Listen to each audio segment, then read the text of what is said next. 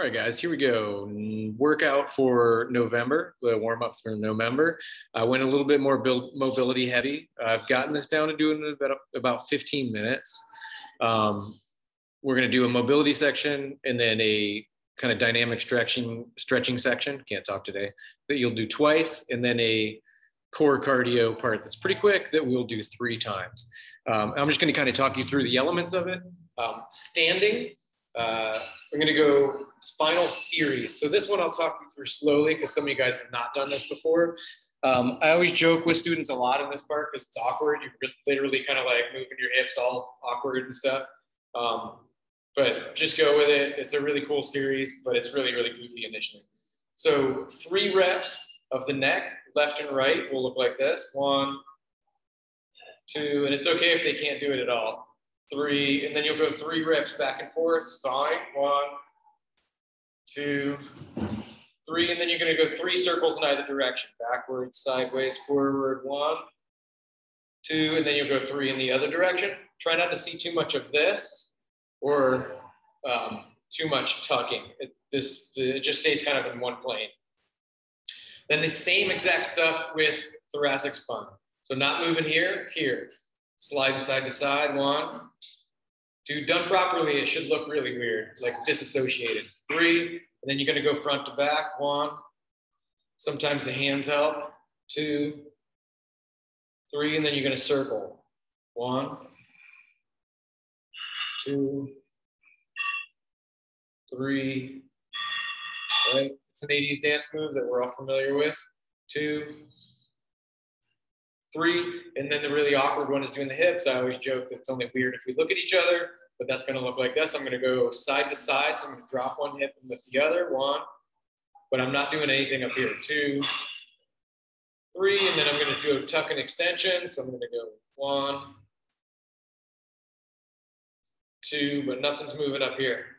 Three, and then you're gonna do really awkward circles with them where you go back, right, forward, left, back, right? So I'm gonna go three in one direction, three in the other. I'm trying to really disassociate the pelvis so I don't get a bunch of this kind of stuff. Cool, that's the first sequence. Then three in either direction, scapular circles, forward, backward, down, forward, upward. Then three in the other direction. Good, not too much of this, but this. Then three on each side, single swimmer arms. One hand over the chest, one elbow up. Good, press the elbow back, reach up, Reach out and behind you as far as you can. Internally rotate the shoulder. Drive the thumb up the back, but without resting it. Push, push, push, try to touch the back of your head. It should suck. And then down, back, reverse trip. So I'm gonna do three of those on the right and then three of them on the left. Kind of max safe effort is what I tell people. Um, and then cat cow.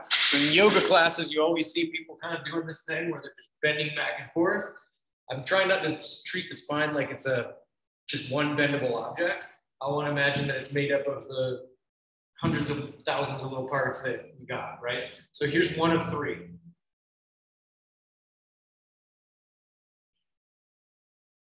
gonna creep up. The last thing that will go is the chin. And then I'm gonna go in reverse from the tailbone.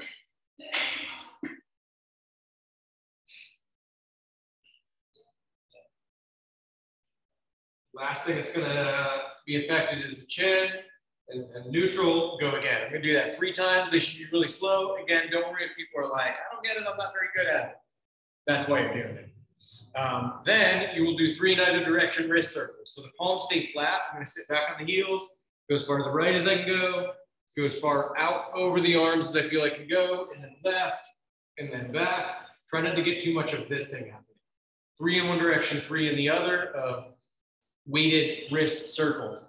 Then you're gonna come up to standing. So here we got a little bit quicker section. I'm gonna go five arms. I'm gonna do this twice. Five swings forward, five swings backwards, five out and across, they're called chain breakers, five on each side leg swings. Make sure when you do leg swings that they stay straight on the back side and they're not doing something that looks like this. Cool? And then five on the left side. Whoop. And then 10 reverse lunges with twist. Two, three, nine, 10, then pogo jumps, 10 up and down, 10 side to side, and then repeat. Five forward, five backward, five across, five on the right, five on the left, 10 total, 10 total, 10 total. Cool? Third group, core and cardio. This one's gonna go fast. Every time I move, I'm gonna count that. So I'm gonna go one, two, three, four, five, six, seven, eight.